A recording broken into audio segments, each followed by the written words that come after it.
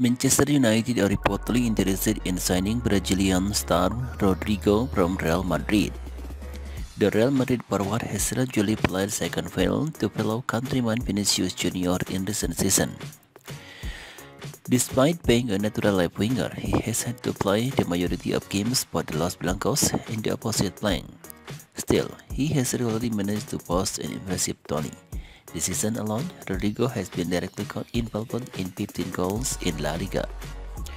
However, with Madrid expected to add Kylian Mbappe to their already star-studded front line, Rodrygo may struggle to get minutes even on the right wing, so Carlo Ancelotti decided to play the Frenchman out wide.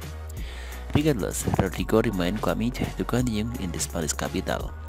It is claimed that he believes following Mbappe arrival, Madrid project will be the best in the world football. Accordingly, he has no interest in joining United or any other interested party for that matter. And if he cannot be persuaded to change his mind, United have plenty of time to save their transfer plan for the summer. The transfer market is full of talented forward, while United need a solid vision and a healthy budget heading into the window. State of the latter, however, have the release on whether they, they manage the quality for the Champions League or the next or not for the next campaign. Manchester United are reportedly interested in signing Brazilian star Rodrygo from Real Madrid.